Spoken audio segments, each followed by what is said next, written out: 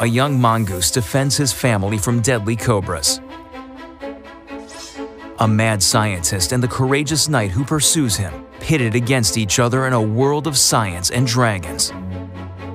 What happens when two forces clash? How can such confrontations be resolved? A man faces the brutality of the wilderness. A Mexican-American boy is caught between his culture and curiosity. A woman teaches a young purse thief a lesson. How can compromise be reached? How does conflict inform behavior? When do differences become conflicts?